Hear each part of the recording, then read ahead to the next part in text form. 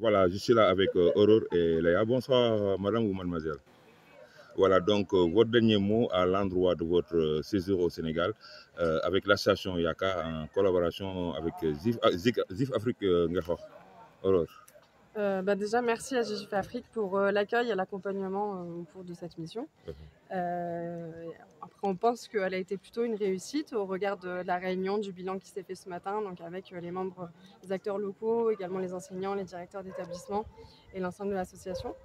Euh, nous, on part sur une, note plutôt positive et, euh, c'est plutôt encourageant pour la suite. On répète un petit peu ce qu'on a dit à chaque fois, c'est qu'une première, un premier pas sur l'évolution des choses et on espère pouvoir poursuivre à vos côtés. Léa? Ben, c'était euh, donc 10 jours euh, où c'était très riche en échanges avec euh, donc les membres du GIF Afrique. Euh, on a pu percevoir les différentes complémentarités de chacun, ce qui a permis de s'apporter et d'avoir différentes euh, visions.